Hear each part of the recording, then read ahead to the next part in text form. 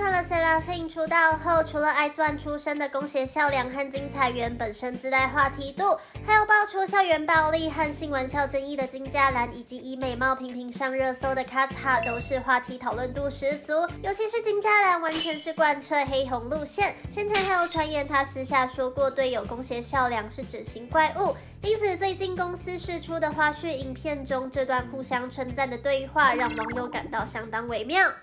언니는 눈도 너무 크고 코도 너무 오똑하고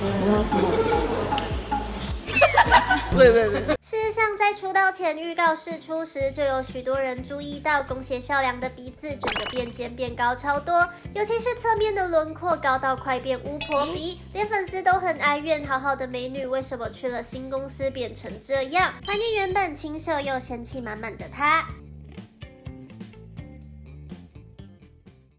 Bye.